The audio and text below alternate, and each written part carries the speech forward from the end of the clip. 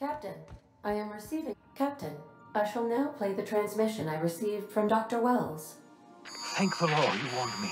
I was able to get some defenses up, but they might not be enough. The board has sent some serious firepower to pry me out of here. They're trying to get in here, and I'm not sure I can stop them. If they capture me, if we can't communicate again, there's something very important you need to remember. The board, all their lackeys, they're all a bunch of swine. Do you hear me?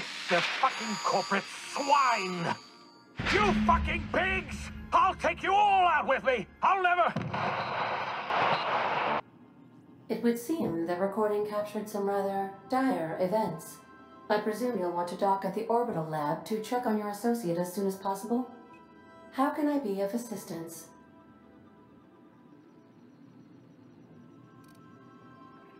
Well then. I'll be here. I mean, he asked me to do it. Idiot. We've arrived at Phineas's orbital lab.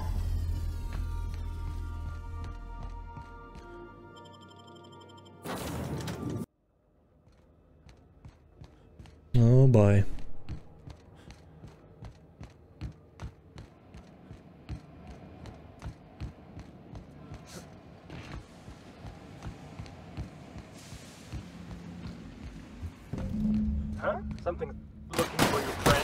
Are you serious, dude?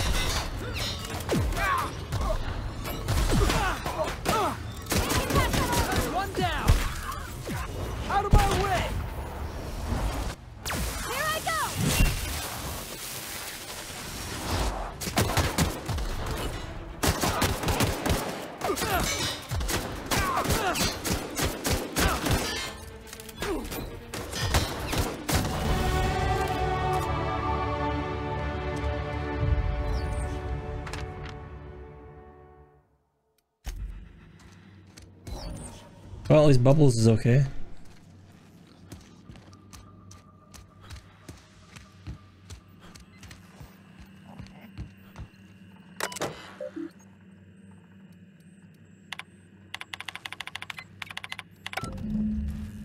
Alright, the passcode has got to be somewhere.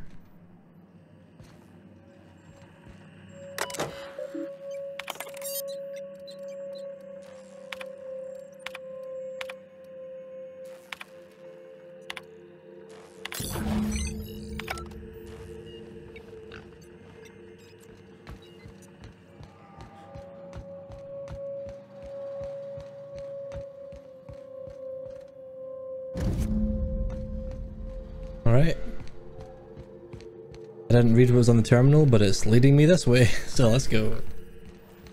Please, would you kindly inform the crew that long... Captain, as it appears we may soon be embarking for a maximum security prison planet, I believe the crew would like to speak with you to, as you humans put it, air some concerns. Great.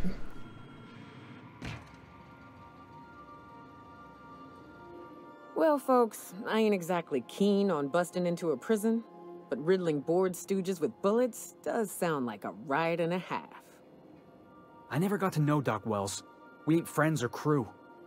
But he's still one of us. He's the reason the boss is up and walking right now. We can't just leave him to die in Tartarus. To extract the scientist, you will need to infiltrate the labyrinth. But that course of action is likely to be quite dangerous, Captain.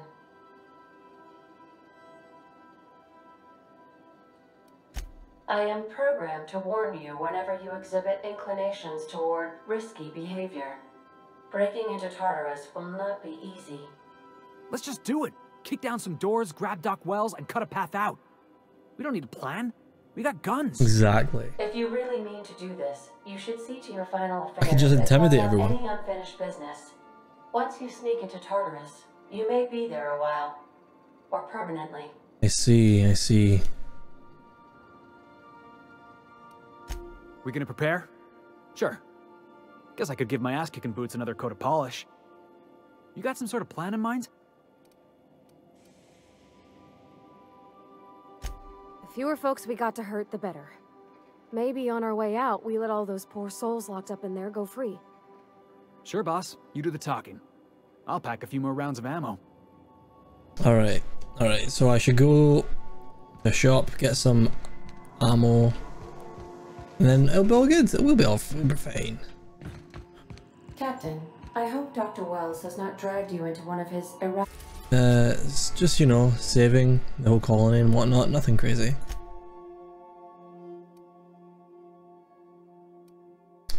Uh, alright, so I'm gonna go with Groundbreaker.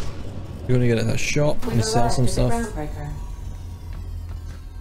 Maybe get some ammo and then should be good. Seems alright.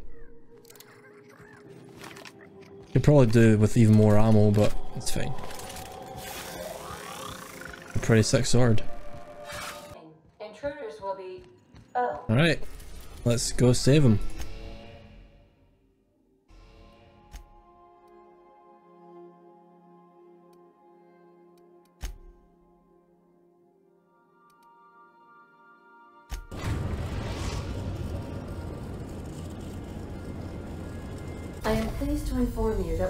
Arrived at the labyrinth. Please be advised that the punishment for trespassing is execution.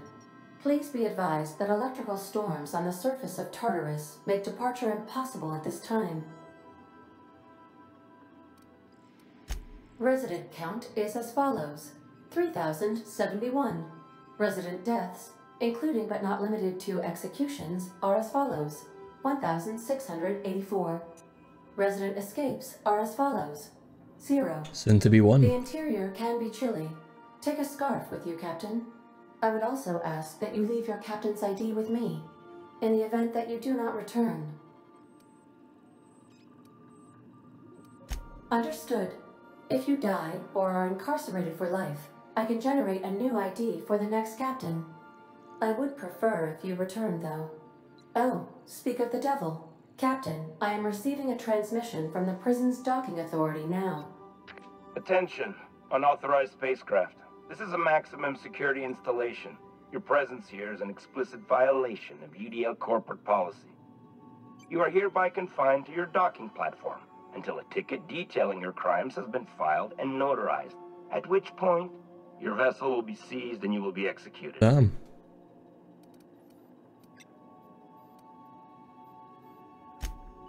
I'm sorry, you people? Did you just cast a generalization on upstanding UDL employees? That's a fine of 200 bits.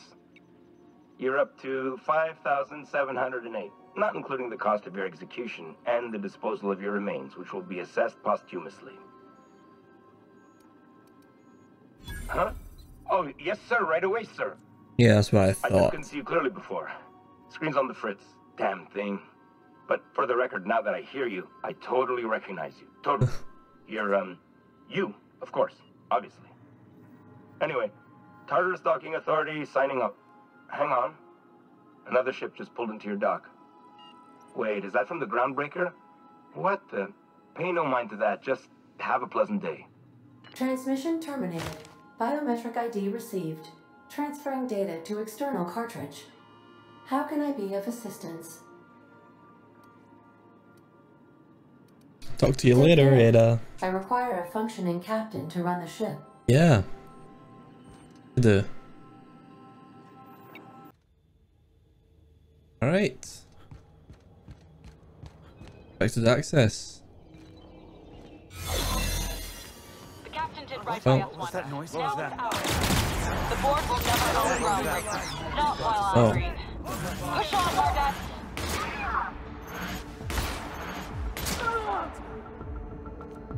Somebody talk to the guard. Free lit.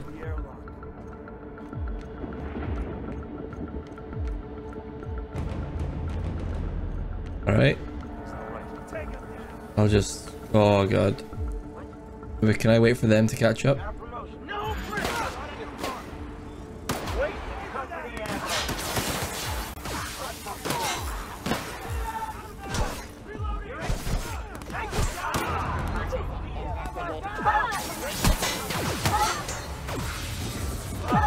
I being damaged here?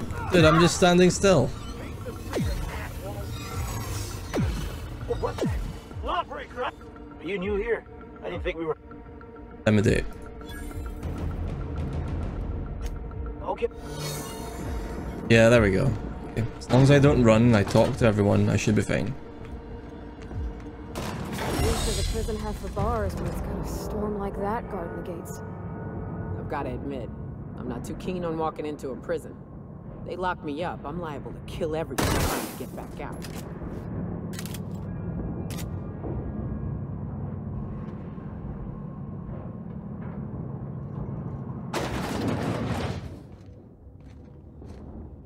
Whew. We have a lot of shooting to do, Captain. No, we have no shooting to do. Just talking our way out of things. Safe way. Sealed.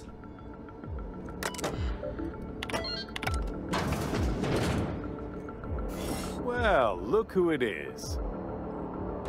I'll be damned. I was prepping the studio for our announcement, and here you are as a bonus. I had heard you'd taken a mechanic under your wing. What's the matter, girl? Couldn't find actual employment? The captain's treated me right. Better than any of you bored folk ever have.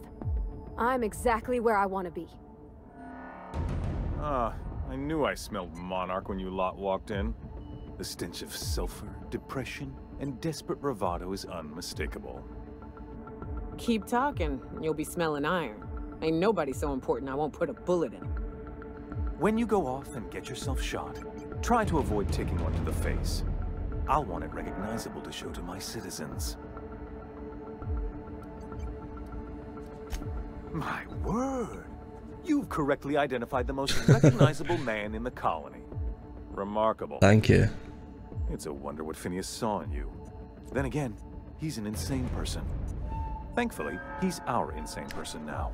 A proper company man.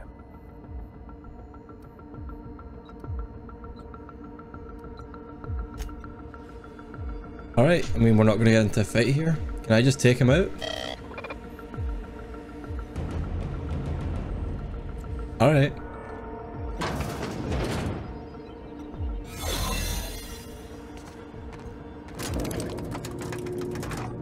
Alright, we're doing well. I don't know if that reset my conversation levels.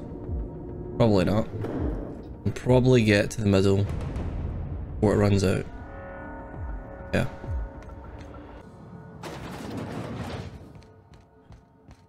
Captain, you have an uncanny talent for complicating my life. You've been working with Dr. Welles from the beginning. Well, of when course. we moved to arrest him, he was prepared. I lost good soldiers in the attempt. You've disrupted the balance of power. You've upset the natural order of things. You've introduced uncertainty, and there is nothing I despise more than uncertainty.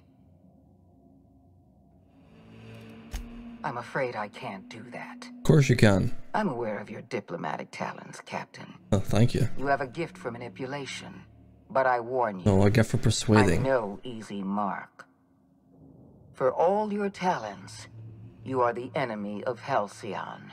And therefore you are my enemy.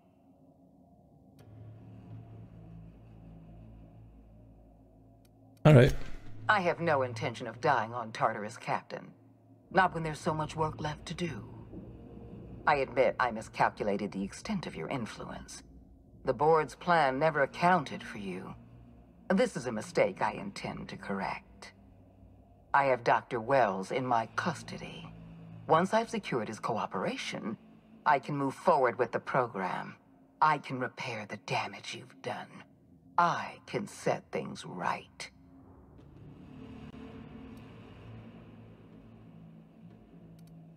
Well, that's mostly correct. You're not leaving here at all. Well, we'll see about that one, won't we? I take no pleasure in this, you know. I'm sure you I don't. simply have no other option. Leaving you alive is too great a risk. Goodbye. Captain. Bye.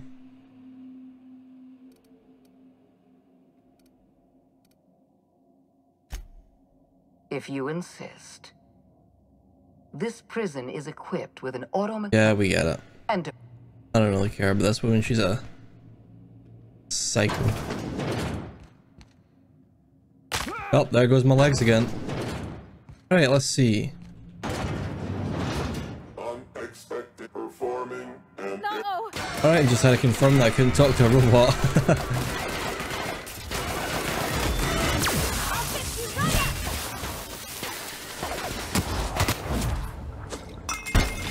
Uh, I have a grenade launcher that I could probably take out. Might help here. Don't know if there's grenades in it though. I am a ah! soul. That's smart.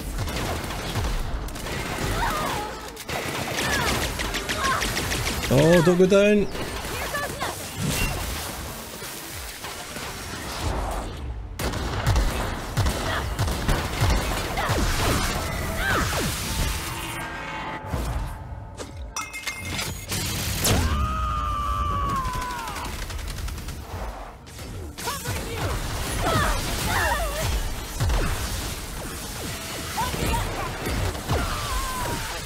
My god, there's a lot of enemies here now. The team's down.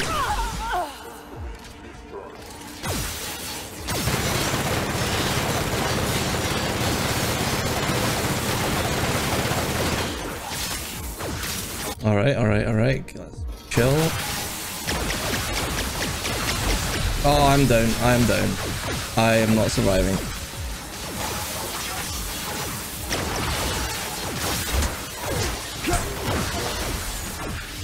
I'm a charismatic person. I'm not a fighter.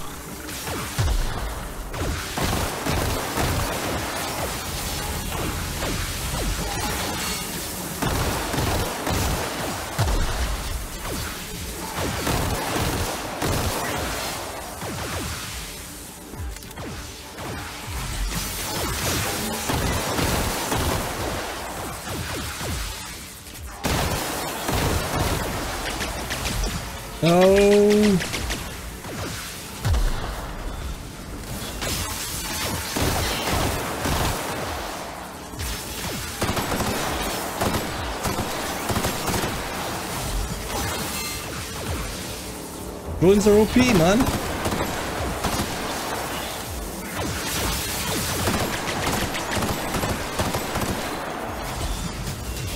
Oh my god, what? How did I survive that?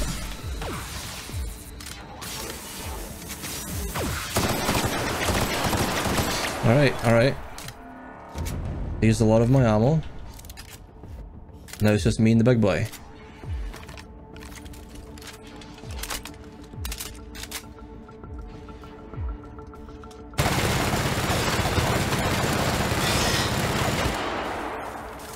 My god, what?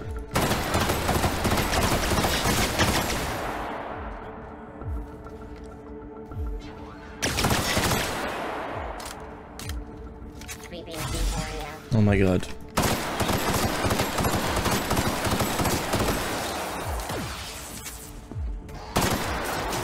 No. The grenade launcher even worth it? 400? No, probably not. Has no ammo. I'm running out of meds. I can hear the drones in there.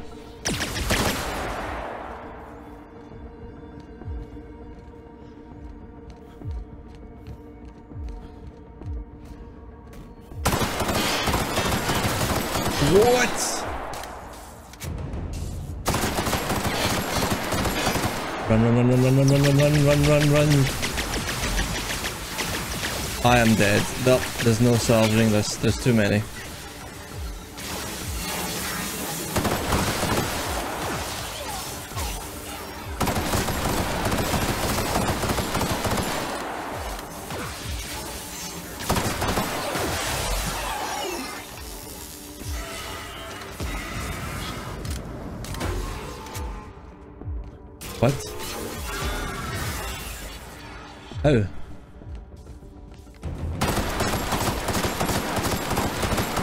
My team get up?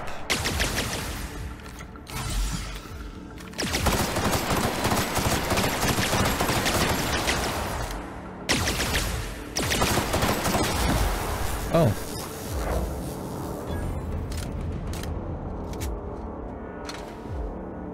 Oh, and it has a key. Nice. That was actually quite tough.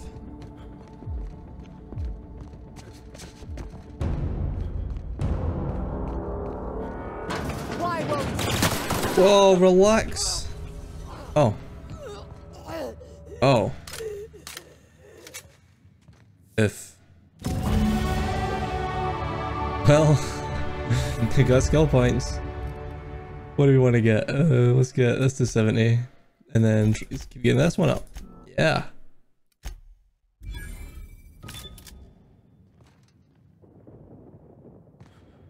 Killed.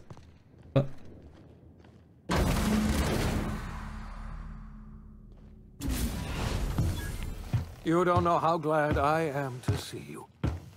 You did the right thing.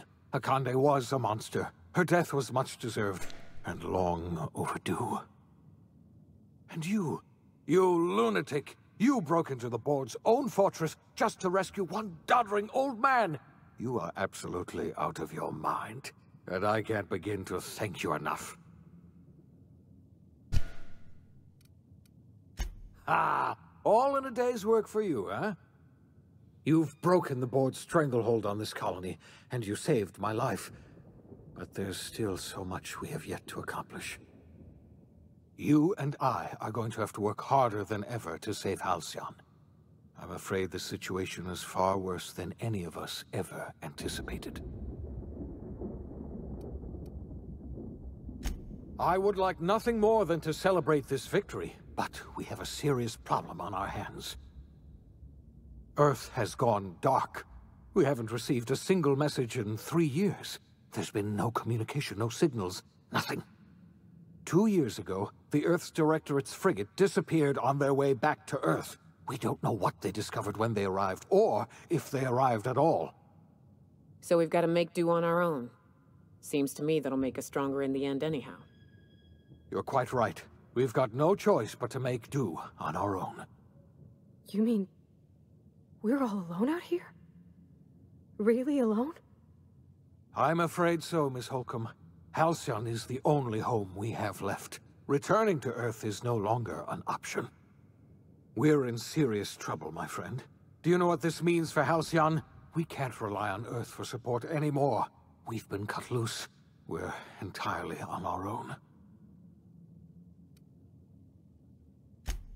Yes, we do. You've done a marvelous thing. You've succeeded where anyone else would have failed, including me. We must begin the revival process immediately, starting with the Hope's brightest minds, and then we're going to fix this damn colony, one problem at a time. We're going to need a leader, and I can't imagine a better person for the job than you. What do you say, old friend? Will you help us? Hell yeah. When I revived you, I thought you were going to help me save this colony. I was wrong. I had our roles reversed, you see. You're the one who's going to save us all. I'm just the one who set you on your path. You're the best thing to ever happen to Halcyon. If you want to take it upon yourself to lead this colony, you have my support. We're not a colony any longer, are we? Our last connection to Earth has been severed, and so we have been set free. Our future is uncertain, and no one knows what tomorrow holds. Exciting, isn't it?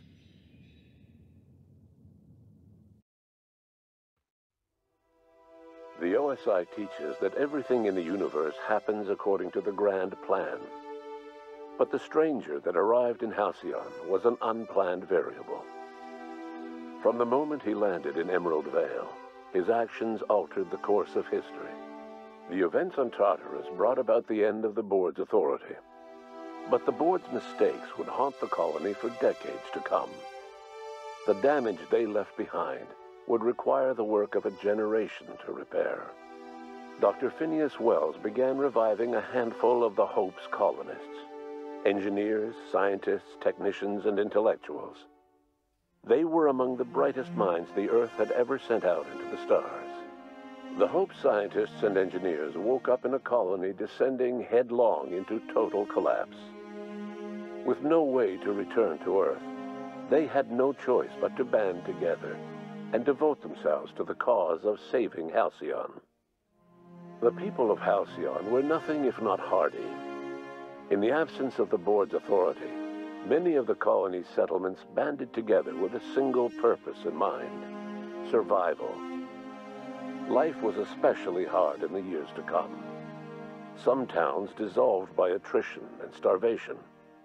But most of them found a way to carry on. In the years to come, Halcyon was forced to reckon with its newfound freedom. The board was gone, and for better or worse, the colony was responsible for its own destiny. Sanjar's civil liberties and worker-centric policies were slow to catch on with the other corporations. But as Halcyon began its long, arduous journey toward recovery, many of Terra 2's smaller townships started adopting MSI's alternative corporate structure, and eventually became entirely self-sufficient. In the coming years, many of these townships managed to eke by, where otherwise they might have starved. The collapse of Edgewater left its workers bereft of any purpose in life. Most of them made their way to Adelaide McDevitt's camp, hoping to ingratiate themselves into her favor. Adelaide accepted only a few to her community. The rest were turned away and likely died of starvation.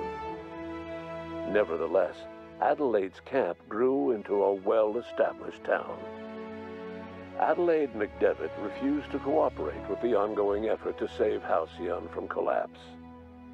A sympathetic deserter stole a copy of her research and delivered it to the Hope's scientists. It is unclear how useful Adelaide's research was.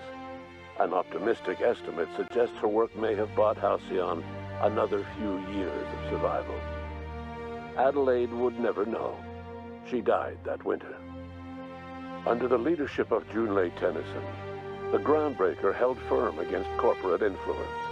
The ship's mechanical stability gave Junlei the time to educate a promising generation of engineers, schooled in her family's traditions. The future of the groundbreaker looks promising. The rediscovery of the Hope and the abandonment of the lifetime employment program forced Byzantium to come to terms with some uncomfortable realities about the state of Halcyon. While Byzantines were reluctant to surrender the luxuries they'd grown accustomed to, the board's diminished authority gave them little choice in the matter. Nearly everyone had to learn to make do with less. Some even had to get jobs. It was a dark time indeed. Life in Halcyon was sobering for Felix Millstone. The grand revolution he dreamed of never came.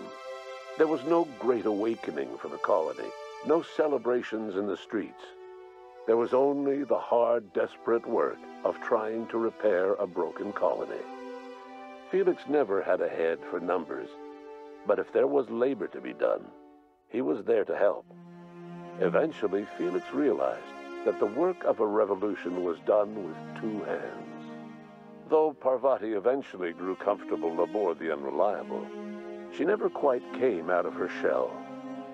She seemed to prefer the company of Ada to the crew, and she could often be found neck-deep in cables and grease, telling Ada funny stories from her childhood. While the colony fell into chaos, she found an island of relative peace with Ada, and they formed an unusual bond. She decided to remain aboard the Unreliable permanently as its chief and sole engineer. As hard as she tried to drink them away, Nyoka's memories eventually overcame her. Traveling with the crew served as a constant reminder of the family she'd lost, and so she eventually returned to Monarch to get back to what she found most comfortable, the deep end of a bottle and the far end of a trail. Few have seen her since, but travelers often swear they hear her and her machine gun in the night, screaming swears and spitting bullets. Before his untimely death, Captain Alex Hawthorne had plans to restore and modify, for combat purposes, a sanitation and maintenance automechanical that he'd found in a state of disrepair in Emerald Vale's scrapyard. That unit remains broken down and forgotten in the unreliable supply closet to this day. Minister Clark was released from house arrest, and his contact with you gave him a sense of renewed purpose and vigor. Once it became clear that no help would be coming from Earth, he threw his considerable efforts and talents into helping Halcyon manage the crisis before it. As for Dr. Phineas Welles, he spent his remaining years in his orbital lab. He eventually came to terms with his own past and was able to forgive the mistakes of his younger self by devoting his remaining years to serving the colony. Dr. Welles was able to revive many more scientists and engineers than he first expected, thanks to the additional batch of chemicals you stole from the Ministry. Welles never forgot about the human lives that were lost in acquiring these chemicals. In the end, Dr. Welles was able to save every scientist and engineer aboard the Hope. Over the next decade, nearly all of the Hope's remaining colonists were successfully revived. Halcyon saw a period of rapid technological and scientific advancement. Breakthroughs in dietary supplements saved the colony from starvation.